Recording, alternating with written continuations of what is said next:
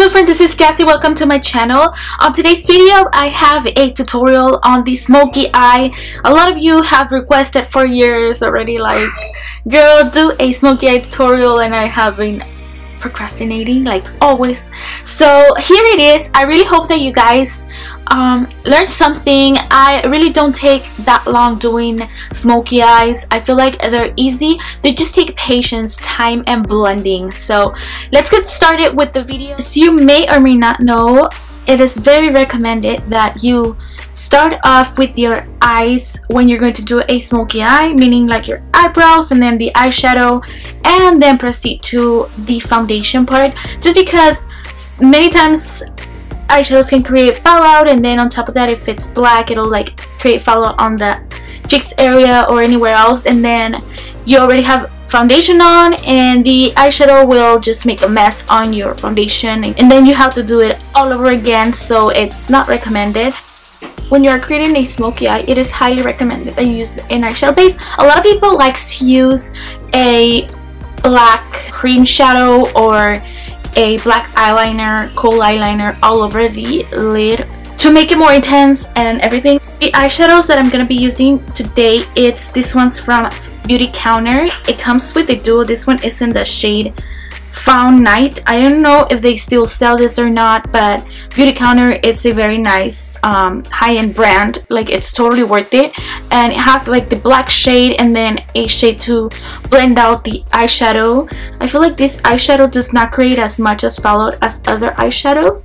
And then I recommend that you use a brush that is for the eye all over lid but it's not too big. That way you can build it up.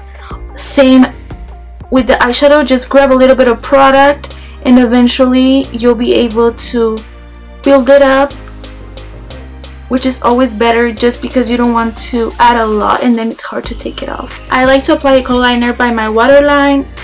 My eyeshadow just looks crazy right now but this is um, the things about doing smoky eyes like they just look so messy but the key is to blend and blend and blend until you get rid of any lines and until you are happy with the results so I'm gonna grab a blending brush and I'm going to use the shade or transition shade that I have right here. And apply that on my crease then I will blend out as much as I can. This will take time this will take effort this will take patience. So just blend like I said until you're happy with the results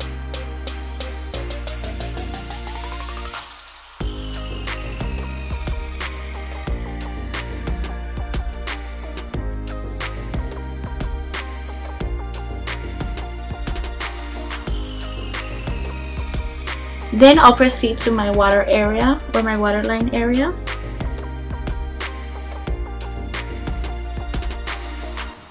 Then you can totally clean up. Then grab more of the transition shade and blend a lot more.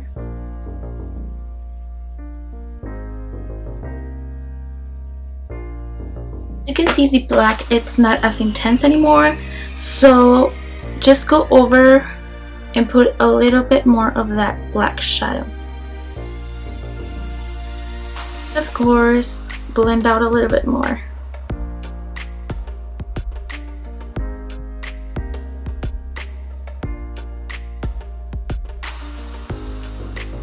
And again, I still look crazy, but it's alright and all good. Now I'm going to get a highlighter. I'm going to be using this one from Wet n Wild. This one is the Illuminating Palette in well pink and I'm going to use this shade over here to grab this angled brush from Luxie Brushes. It is their Detail Angled Blender. It is somewhat big but that's perfect because I want it to grab the brow bone and a little bit further down so it can create like an ombre effect and it doesn't look too intense. Back again with the transition shade, I'm going to blend out just a little bit more. So now I'm going to grab more of that Mega Glow palette shade and apply that on my tear duct. Now I'm going to just curl my lashes and apply some mascara. Then after that I will be applying some falsies. that I'm going to be using right now. These are the Dodo lashes in the style D115. Quickly, I'm going to proceed to my concealer. I'm going to be using the Fit Me from Maybelline. This is in the color 20 Sand Sable.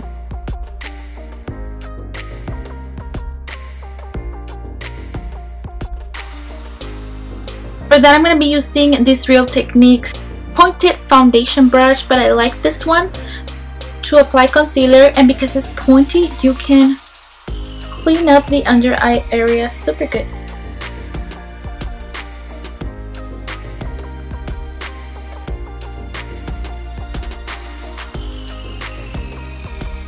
Now for foundation, I'm going to be using the Clinique Beyond Perfecting Foundation.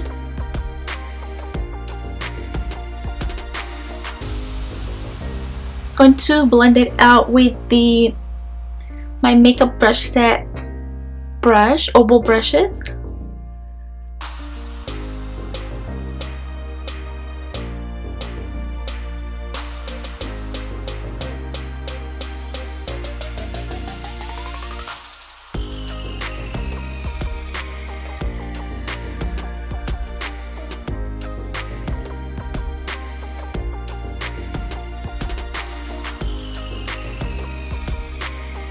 Set my concealer, I'm going to be using the NYC Smooth Skin Loose Face Powder. And this one, it's in the shade Naturally Beige. I'm also going to be using the My Makeup Brush Set Oval Brush.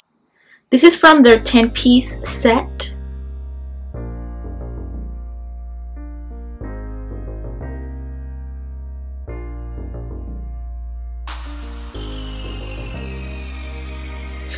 Contour my face, I'm going to be using this bronzer from Beauty Counter as well. This one is in the shade number 1.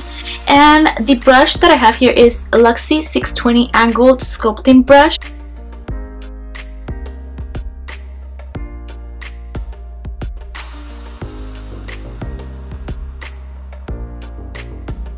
The brush is from Sephora in the shade Heated.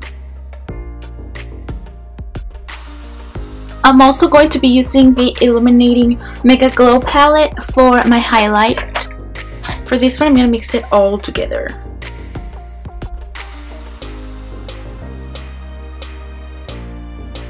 I'm going to be using the Jouer Cosmetics Liquid Lipstick in Noisette. This is my favorite shade for the fall. And I love it because it stays on the lips all night long.